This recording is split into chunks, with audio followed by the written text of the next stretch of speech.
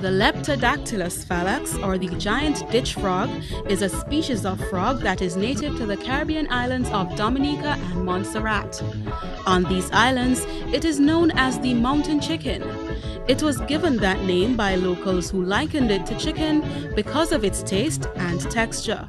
The legs of the frog are huge and are prized as a delicacy, so much so that it was once the unofficial national dish in Dominica and heavily consumed in Montserrat. These frogs were abundant in as many as six Caribbean islands, but due to extensive hunting, disease, as well as shrinking habitats, they have become critically endangered.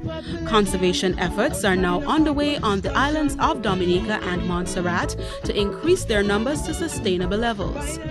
The Caribbean is a treasure trove of wildlife, the mountain chicken included, which contributes to the region's beauty and makes it a favorite destination for people all over the world.